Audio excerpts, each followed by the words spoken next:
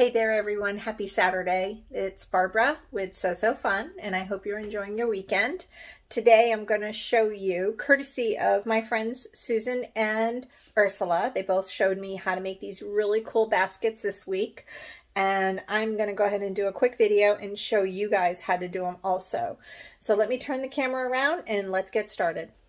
So you can see these are adorable baskets that you can embroider on.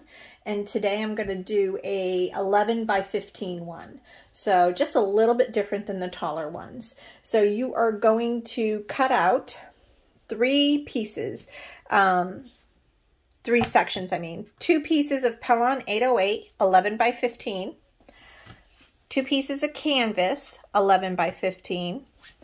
And two pieces of lining, 11 by 15. Once you have that, I want you to iron on your Pellon to your interior fabric, whatever interior fabric you're using. Go ahead and iron that and we'll wait.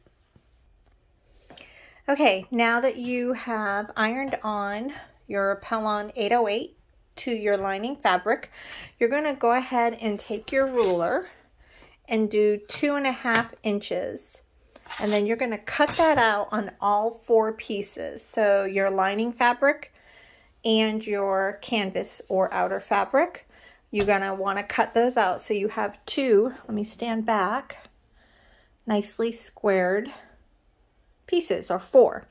And then this is the time if you're going to embroider anything on here, this is when you're going to hoop it and go ahead and start your embroidery, which is what I'm going to do next. Okay, so now while my machine is busy working on its embroidery, we're gonna go ahead and put right sides together. And I want you to go ahead and sew a half an inch seam allowance here, a half an inch seam allowance here, so both sides, and then the very bottom. But I need you to leave a little bit of a gap here on the sides for turning. So sew, gap, sew. And that is so you can turn the bag when you're done. Okay, you will see I went ahead, it's hard to tell in this white, but I went ahead and stitched here. And I stitched all the way across here and I stitched here, but I also back stitched right there just to give it a little bit more strength for when I turn it. And the same thing right here, I did a little back stitch so it has strength from when I turn it. So what I need you to do next is we're gonna go ahead and match up your seams here and then sew the line straight across and that's gonna give that nice boxed look. So go ahead and do that. All right, so you should have your bottoms already cornered and boxed, and this is what the inside looks like. So you have a nice lining going on. So the next step is we're gonna do the same to the canvas or the outer fabric. Unless you are embroidering like I'm doing, this is the time to put your embroidery on your canvas before we went ahead and sewed. Okay, so you have your embroidery done and you're gonna put right sides together and you're gonna sew along this side and then this side and then sew completely across the bottom when you're done with that, I want you to match these two seams and draw, or sorry, sew that straight line across so we have a nice box bottom. Okay, so we have our two box bags. This is the wrong side out. And we are going to match the right sides together. So let's go ahead and do that now. Okay, so you have the right sides together and you have it pinned and lined up. Mine is a little bit larger, so excuse that.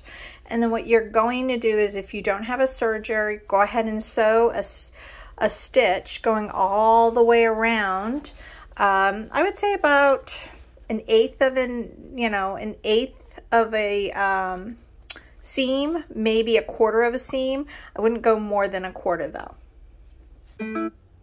So what I'm doing on here is I'm just lining my canvas fabric to the edge of my foot and then I'm gonna go ahead and sew all the way around.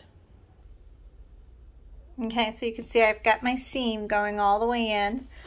So now I'm gonna find that couple inch gap that I left open and I'm gonna turn my bag inside or right side out.